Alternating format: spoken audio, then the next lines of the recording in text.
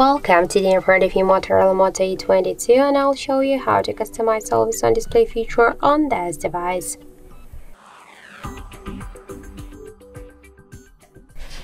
So first let's unlock our smartphone and now we should open Muviz Edge app. Here let's select just another tap to apply. We can change here background so this stem um, if you want let's use this one click apply. If you want to change time to hide the music controls we can change it from 10 minutes just to don't hide them.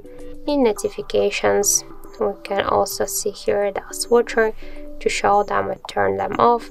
Also the date settings and to show battery status always while charging or just to don't show it so now let's tap the X icon, switch edit to the settings and tap to always on display.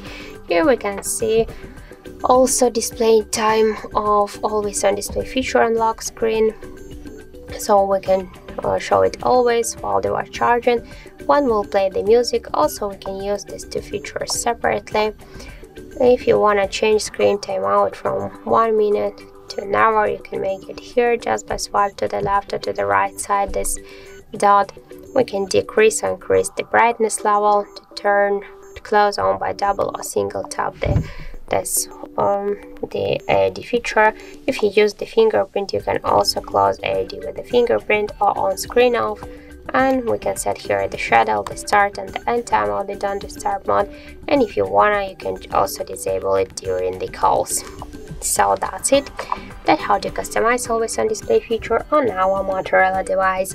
Thank you for watching and if you find this video helpful, don't forget to leave a like, comment and to subscribe our channel.